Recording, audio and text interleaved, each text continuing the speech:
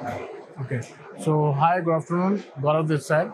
Actually, uh, I'm representing STPL, that is Sahajanand Technical Private Limited. We are the Indian manufacturers for 3D printers.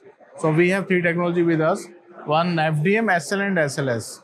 Right now, I demonstrate one FDM with you. So, in FDM, we have a multiple segments like 300, 500, and 650. This particular machine is of 600 by 600 by 650. The height will be 650. So you can print your part up to 650 mm height.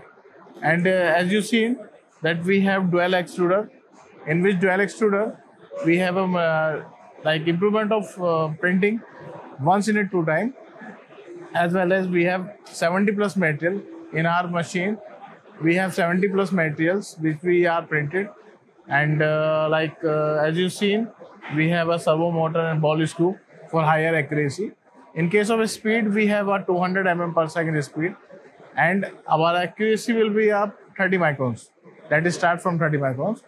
So uh, this is the largest volume we have, as well as the highest speed we reach in our uh, portfolio.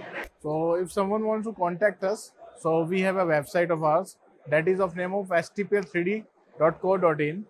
So we are basically based in Surat so our, our all our entry team and as well as our main head office will be on Surat.